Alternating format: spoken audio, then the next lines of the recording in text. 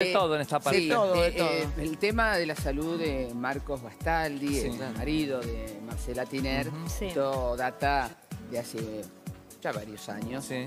cuatro, cinco, sí, cinco. Sí, sí. Está mal, mal, cuatro años, tres Sí, años. sí. Que es una enfermedad como que va... Es una enfermedad neurológica, Claro. que es Parkinson, que hoy por hoy, eh, como dice Marcela, él no sabe dónde está. Claro.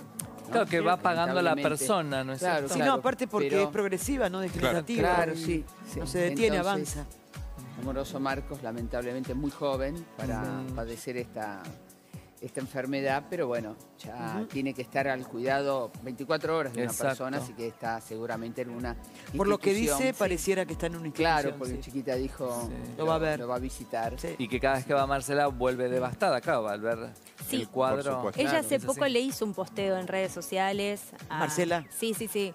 A Marcos diciéndole todo lo que lo El día de amaba. los enamorados fue. Exactamente. Sí, aparte ella hace, no hace mucho tiempo también habló acá en el programa. Creo que si no fue para la internación de Mirta o a posteriori, le preguntamos si él- ella habló con respecto al estado de salud de Marcos, como que no, Claro. no conocía ya, ¿no? Claro. Y la vuelta de Mirta Bueno, fue con todo, ¿eh? Pero Apa. yo vi- te, te digo, escuché Sí. todo el programa. Sí. Casi, sí, todo, porque la parte que, que se despidió, bueno, Sí.